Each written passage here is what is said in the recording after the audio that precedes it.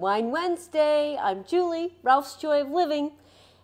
And did you get a little hint of fall in the air this morning when you woke up?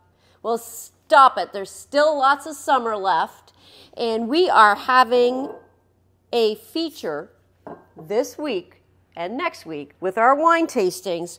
We're featuring a wine called Port Swing, and it's pink lemonade, if you can imagine that. So you get all the goodness of a wine based wine with pink lemonade flavors. So let's see what it's like.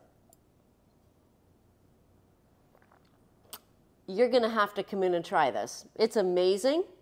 And uh, we will feature this on our wine flights for the rest of the month. Come in and see us. We'll see you next week.